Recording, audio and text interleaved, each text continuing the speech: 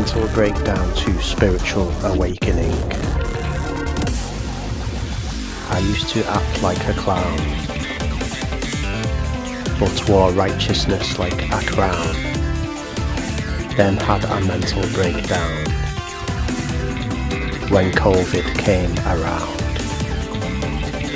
Asked was I hearing voices or sounds, it was purely visual. Started to feel spiritual. I try not to be too critical about my past self. My heart was mostly in the right place. Just had to add some other ingredients from the top shelf.